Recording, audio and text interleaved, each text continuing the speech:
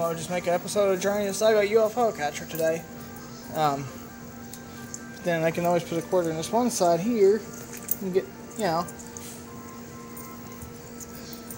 We'll see what I want to do here. Because, I mean, there's a lot I can work with.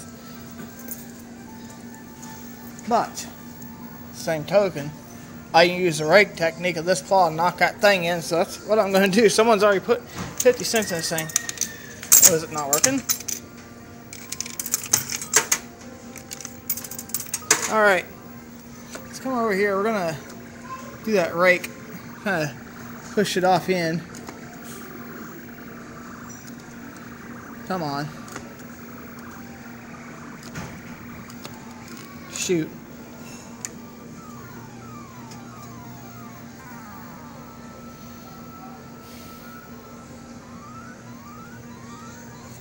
Got it. Cool. Well. Cool beans.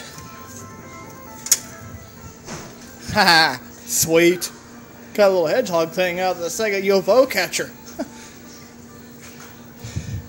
well, thanks for watching. Hope you enjoyed this episode of Journey to the Sega UFO catcher. I don't know what episode number it would be, so. Anyway, thanks for watching, guys.